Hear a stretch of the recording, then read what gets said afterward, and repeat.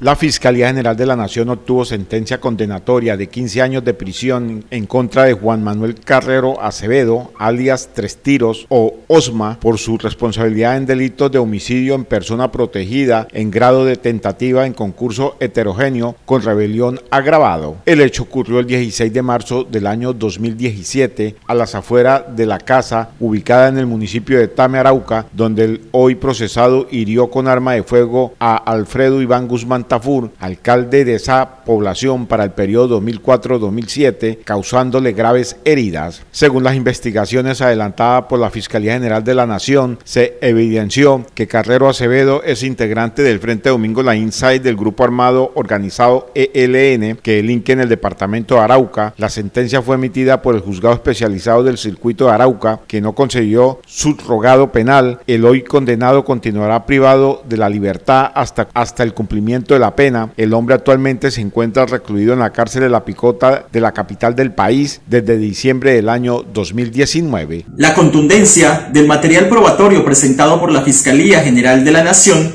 seccional Arauca, permitió obtener una condena de 15 años de prisión en contra de Juan Manuel Carrero Acevedo por los delitos de tentativa de homicidio en persona protegida y rebelión agravada.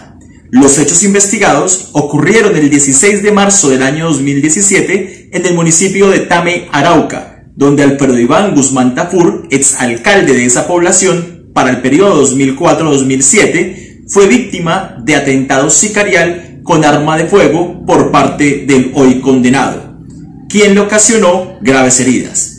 La fiscalía evidenció que Carrero Acevedo Pertenece al Frente Domingo Laín Sanz del grupo armado organizado ELN y era conocido con el alias de Osman. El hombre actualmente se encuentra recluido en la cárcel La Picota de la ciudad de Bogotá. La Dirección Seccional de Fiscalías de Arauca habla con resultados.